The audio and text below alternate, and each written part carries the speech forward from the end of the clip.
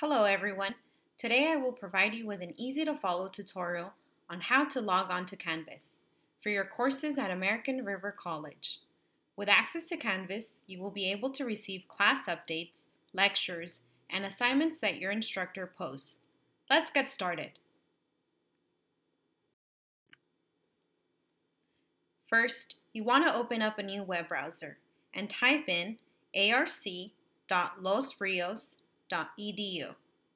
When your page loads, it should look similar to the picture here. Next. Now look for the Student Login tab on the right-hand side. When you hover over it, a drop-down menu will populate. You will click Canvas. Next. A new tab will open on your browser with this screen. Here you will type in W followed by your student ID number and your password as shown in this example. Now you can hit the red login button.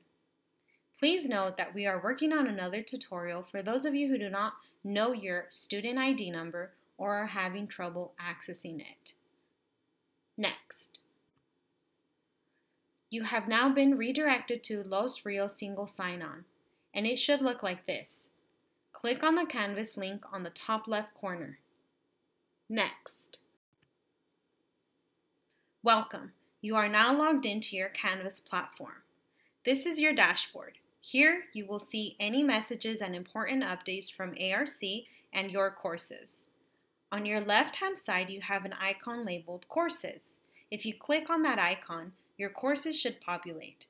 Now you can start learning from online lectures and completing assignments. Thank you for watching.